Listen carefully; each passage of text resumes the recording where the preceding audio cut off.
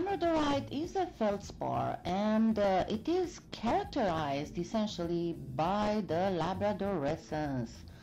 And that is a Schiller effect, that means flashes of light. And uh, generally speaking, Labradorite has purple, blue, and green uh, Schillers. But uh, there is a variety of Labradorite that's called spectrolite that can be found in Finland uh, that also uh, shines with dark red, orange, blue, yellow, and green. Like this one, for example, is a spectrolite. But what we are going to do today will be just a plain old Labradorite with a blue Schiller. Uh, the thing is that when you look at it, it looks pretty drab. It rarely forms crystals. Uh, the main thing we'll have to do is to recreate the base stone, the one that looks fairly drab. And it is fairly translucent, so this is what we are going to try and create. That translucency can be gray, it can be white, sometimes it's light blue or light green, sometimes it's a pale orange red, even black, as you can see it has some streaks of black. So, uh, can I create it? Absolutely, and with a fairly decent, uh, realistic effect and look. So, yeah, that is uh, Premo clay.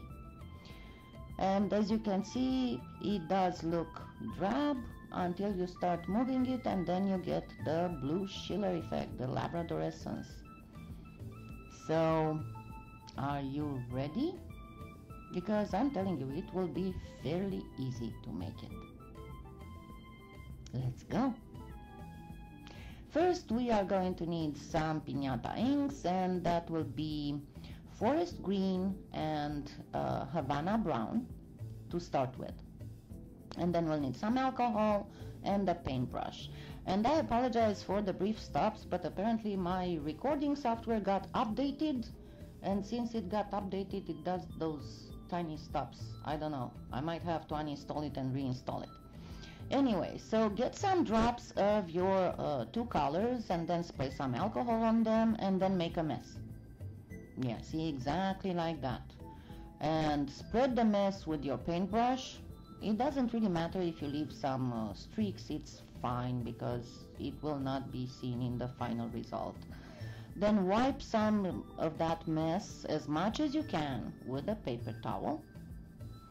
You can uh, even spray some more alcohol uh, if you can lift a little bit more of that ink but your uh, intention is to get some of that ink to penetrate some of the clay and yes, your clay will have to be very well conditioned because if you didn't know, I'll tell you now, alcohol ink dries the clay. So once it is all nice and dry, we are going to stack it. And that is, we are going to cut it into pieces about one inch. And it's up to you how big you want to make the stack. But I will do about an inch maybe an inch and a quarter. And you don't have to be super precise. Uh, all you need to do is to get some squarish pieces and then stack them and try not to stack the same colors one on top of the other yeah I promise you that it's only in the first few minutes of the video that is going to do this because I don't know after that it kind of came back. It still did a couple times that stopping thing but then it was okay. Anyway so once you do your stack you want to flatten it. And you'll see as you flatten it that the very very top thin thin layer that had the alcohol ink on it will start cracking and that is exactly what you want because it's going to give it an extra effect of stone now uh, labradorite doesn't form crystals I think I already said that did I huh I don't know. Anyway, I'm saying it again if I already said that. So it doesn't really form crystals very rarely. Generally, it looks pretty glossy. So we are going to try and recreate this. So when you flattened your uh, sheet that it can go through the pasta machine on the thickest setting, you go with it through the pasta machine on the thickest setting, obviously, and then you cut it into several strips. Again, I went for about an inch, an inch and a quarter. And then I'm going first to place a little bit more of that Havana brown that I'm going to smear. I'm going to use also some alcohol ink to uh, some alcohol to dilute my ink so it can be smeared better. Smeared. And then initially I thought I was going to put some green but then I made up my mind that no it has enough green already and I want to go more for a grayish look not for a greenish look. But the combination of that forest green because that was forest green remember my camera sometimes shifts the blues so yeah I put just a little dot of green. That's insignificant. And then I'm going to take some Mantilla black alcohol ink and I'm going to put it in a little cup and I will add a tad of alcohol to dilute it. And then I'm going to smear it. Just you know randomly don't cover the whole sheet. You don't want the whole sheet because we are going to uh, imitate those blackish lines fractures with this smearing. And you don't want it to be pure black. You want it you saw how even the black when we looked in the light even the black had some translucence to it. So uh, this is what we are going to try and imitate. So just smear some black on those sheets and then wait for it to dry. Here I waited to dry, it's just that I cut and edited. It, those are not wet. And then stack it again. Yes, we stack it again. Now the thing is that you make your cabochons with the crosswise section of the stack. So again, when you stack, try not to repeat the those smears in the exact same spots. You will have to in some places but it's okay. Try not to put more than two or three at the same time. And first um, make sure that you have a fairly tall because you want those stripes those slices to be fairly thin. Why I didn't make the clay already thin? Because I needed it to to crack when I put the alcohol ink. If it would have been already thin, there wouldn't have been a need to thin it out, so it wouldn't have cracked. So once you got them thin enough, and you want those the the area of translucent between the lines to be about half a millimeter at most. Then I'm going to cut the ragged edges and we are going to use those ragged edges. Don't throw them don't put them in your scrap clay. Just put them aside for now. And then I'm going to cut pieces to form my cabochons. And as you can see I'm going to form the cabochons from crosswise slices because you want those lines to appear. And um, I am cutting enough pieces for several cabochons now there's a, a thing you have to be very aware that what you are putting in the cabochon mold, what is the back of the cabochon mold, will be the front of your final cabochon. Uh, when you are placing the cabochons in the molds, try to disturb as little as possible the lines. They can, you can move them a little bit, but try to get a few that are still straight. Then make your cabochons, whichever cabochons you decide to make. And yeah, this one doesn't have designer cabochons, you'll have to use molds, unfortunately. So we'll all use molds. But you can see I'm using just the plain Sculpey cabochon mold and then some best flexible molds. And you will find uh, links in the video description for everything, I promise you. Because you can find these at Polyclay Play, but I also have put some in my Amazon influencer store if you're outside of the US. Then what I'm doing, I'm going to use some Art Alchemy Opal Magic Line acrylic paints and this is the yellow blue.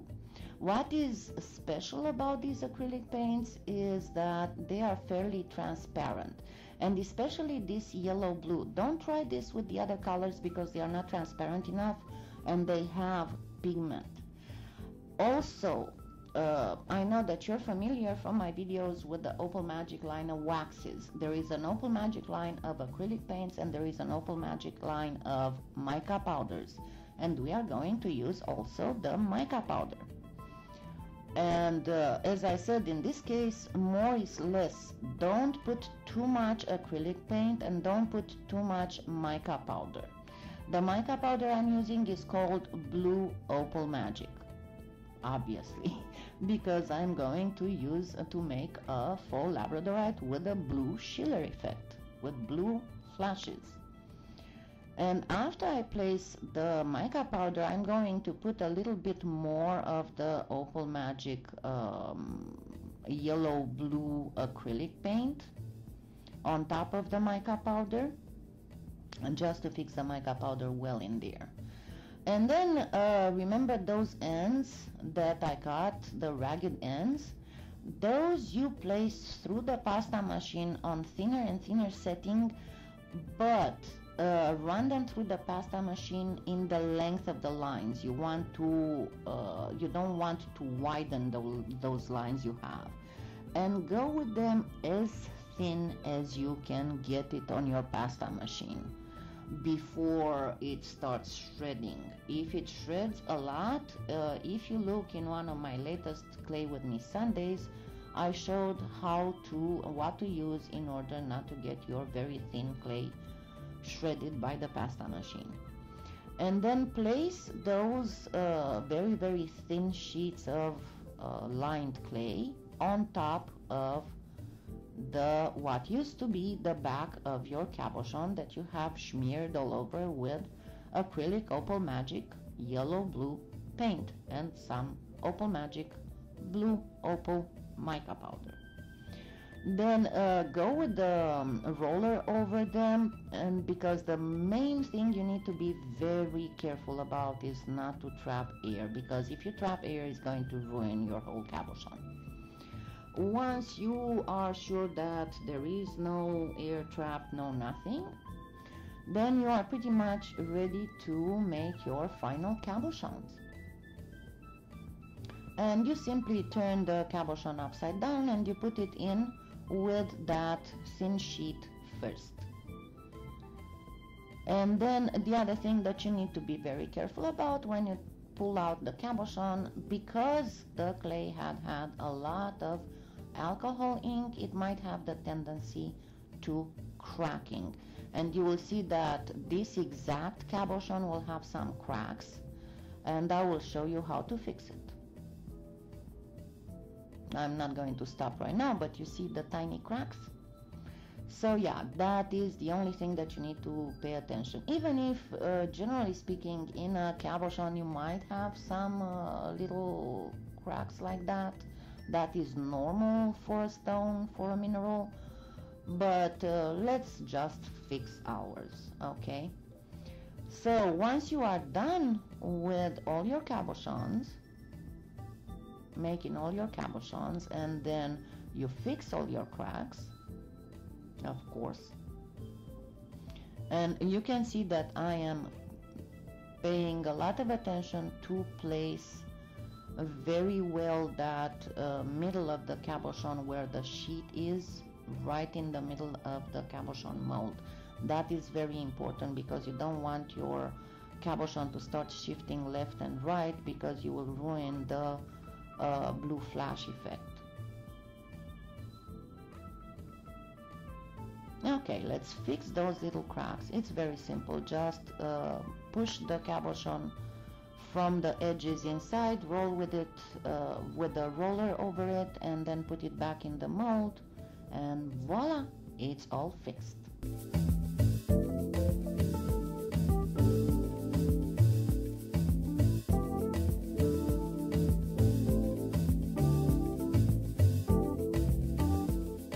Let's see what we did. Now I have to warn you, it is a very, I mean, very, a fairly uh, decent, realistic uh, result, but the problem is that my best blue labradorite is one of those exceptional quality stones, so the blue is too awesome.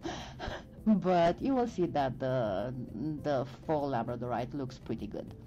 Uh, now you are witnessing me trying to hold everything without dropping anything.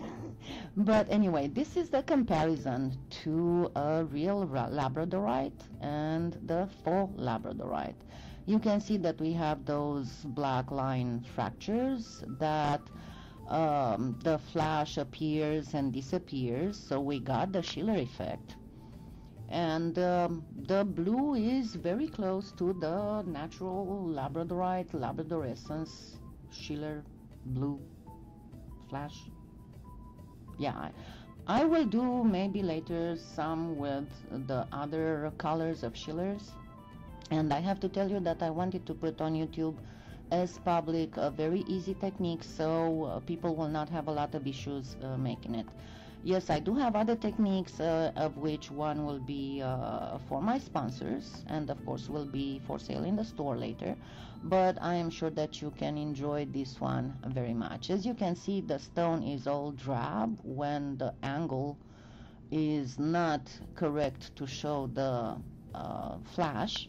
And then as you move it, the flash appears and then disappears again when you move it away in a different angle.